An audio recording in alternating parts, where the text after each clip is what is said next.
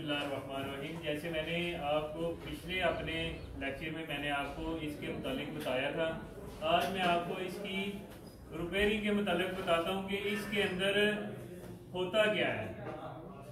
पहले आपको मैं समझा देता हूँ, अगर किसी को पिछले लेक्चर में समझ नहीं आई तो फिर मैं कोशिश करूँगा कि आपको बार बार वही चीज़ समझाऊँ जिसकी आपको समझ नहीं आ रही। सबसे पहले अगर आपने थ्रॉटल इस तरह पकड़ लिया है तो आप देखेंगे इसके अंदर कि जो दो वायर का कलर थोड़ा चेंज होगा, जो मुख्तलिफ़ होगा, वो मोटर की वायर होगी। जो दो, सबसे नीचे जो दो वायर होगी, वो है मोटर की। उसके साथ सेंसर वन और सेंसर टू की दो वायर आएँगी। तीसरी वायर, ऊपर वाली पांचवी वायर होगी पाँच वोल्ट की जो ईसीएम से आ रही है और छठी हमारी वायर होगी अर्थ की, जो कंप्यूटर से सीधा थ्रॉटल को अर्थ आ रहा है। अभी हम देखते हैं कि इसके अंदर क्या हो सकता है, जो मैं आपको थोड़ा सा इसकी समझाने की कोशिश करूँगा।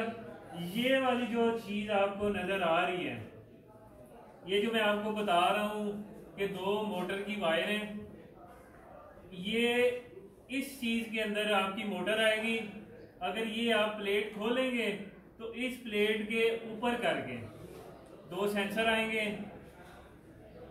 इधर मोटर, इस प्लेट के अंदर दो सेंसर, प्लेट के अंदर ही सेंसर हो गए और इस साइड पे इसका मैकेनिकल आएगा, जो अगर ये चीज़ आप उतार लेते हैं तो ये इसकी एक गरारी होगी, नीचे इसका स्प्रिंग आएगा। बाज इसमें प्रॉब्लम आती है, कोड हमें दे रहा है बार बार दे रहा है। कंप्यूटर क्लियर नहीं कर रहा। तो हम ये चीज़ इसकी उतारेंगे। अगर आपने इसको रिपेयर करना बाद गाड़ियाँ ऐसी होती हैं, नए मॉडल में आती हैं, और उसकी थ्रॉटल काफ़ी महँगी होती है, जो हमें मार्केट से काफ़ी महँगी मिलती है। आप क्या करें मैंने आपको जैसे पहले लेक्चर में बताया था कि ये वाली चीज़ थ्रॉटर आप खोल देते हैं। चार सिलेंडर छह सिलेंडर और आठ सिलेंडर में ये वाली चीज़ में फ़र्क आएगा। पीछे वाली प्लेट में मोस्टली सब गाड़ियों की एक जैसी ही होगी। अगर किसी गाड़ी को, गाड़ी की थ्रॉटर आपको नहीं मिल रही, उसमें मसला आ रहा है तो आप क्या करेंगे? ये वाली प्लेट खोलेंगे, इसको आप ड्रिल करेंगे, ये पिन को। ड्रिल करेंगे और ये प्लेट उतर जाएगी। प्लेट उतर गई।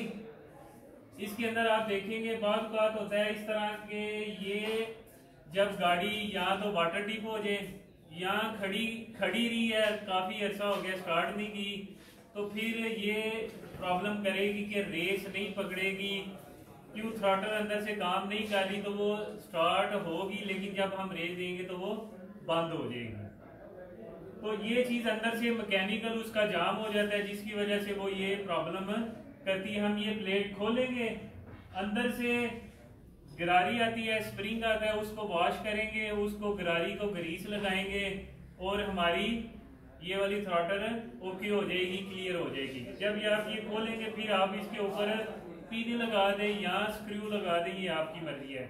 सिलिकॉन लगा के और इसके ऊपर आप इसको टाइट कर दें। दूसरी चीज़ आती है कि अगर आप खोलते हैं कोई चीज़ इसके अंदर मोटर खराब हो गई है प्लेट खराब हो गई है। प्लेट से मराद के जो सेंसर हैं प्लेट के अंदर दो सेंसर आते हैं, वो खराब हो गए हैं।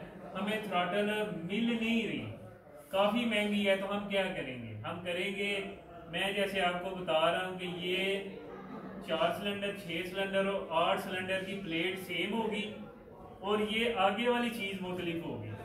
इसका ये वाला होल का थोड़ा बड़ा हो जाएगा, आठ सिलेंडर में, छह सिलेंडर में थोड़ा छोटा होगा, चार सिलेंडर में इस तरह थोड़ा कम होगा। इसमें फ़र्क आता है, पीछे वाली जो चीज़ें होती हैं, वो सेम होती हैं। आप, अगर आपको चीज़ नहीं मिल रही तो आप उसी फॉर एग्ज़ाम्पल जैसे निशान है, यहाँ ट्योटा है। उसकी आप कोई गाड़ी ऐसी है, चार सिलेंडर की आप थ्रॉटल ले लें, जो जरा सस्ती है पीछे से उसका खोलेंगे, अगर हमारी मोटर खराब है तो हम मोटर चेंज करके उसको क्लियर कर सकते हैं। अगर हमारे सेंसर खराब है तो हम ये वाली प्लेट चेंज करके उसको क्लियर कर सकते हैं।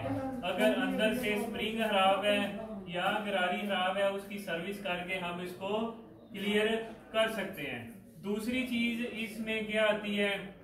जैसे मेरे स्टूडेंट ने क्वेश्चन किया है कि, सर, ये पाइप किस चीज़ के लिए लगे होते हैं?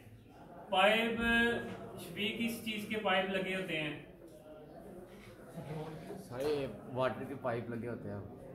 इसके अंदर पाइप का ये फ़ंक्शन है कि जो गाड़ी हम सुबह स्टार्ट करते हैं पानी एक तरफ़ से इन होता है और दूसरे तरफ़ से आउट हो जाता है। ये पानी के पाइप इसलिए दिए होते हैं कि जब हम गाड़ी को सुबह स्टार्ट करते हैं तो उस वक्त गाड़ी हमारी गाड़ी का इंजन थोड़ा ठंडा होता है, जिसकी वजह से गाड़ी को थोड़े आरपीएम थोड़े ज़्यादा चाहिए होते हैं। उसकी वजह से उन्होंने ये फ़ंक्शन दिया है, जब गाड़ी स्टार्ट हो जाती है, पानी उसके अंदर गर्म हो जाता है तो आरपीएम आस्ता आस्ता उसके नीचे आना शुरू हो जाते हैं। इसका ये फ़ंक्शन होगा।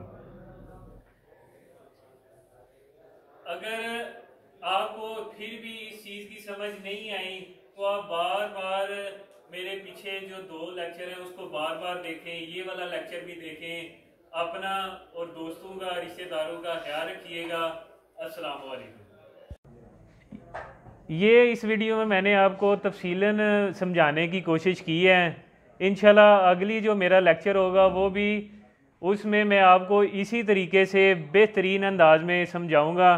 और मेरी सब दोस्तों से, सब स्टूडेंट से गुजारिश है कि मेरे चैनल को जो है ना सब्सक्राइब करें और ज़्यादा से ज़्यादा वीडियो को देखें ताकि आपको मेरे इस लेक्चर की समझ आ जाए और आप, आपको फ़ील्ड में जब भी किसी चीज़ का कोई प्रॉब्लम आए और आप इस वीडियो से फ़ायदा उठा सकते हैं। अपना और दोस्तों का, रिश्तेदारों का ख्याल रखेगा।